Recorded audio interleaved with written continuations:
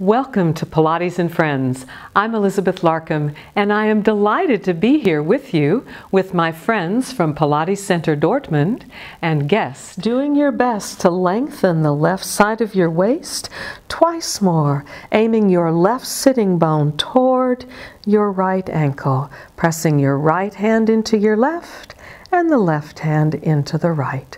Plant the sole of your left foot, level your pelvis, palms up, drawing the sole of your footprint up the spine, up towards the ceiling. Easy on the dismount now. Level your pelvis and come down from here.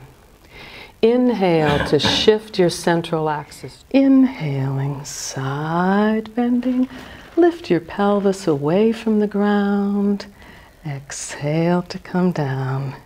And once again, inhaling up and up. Exhale to come down.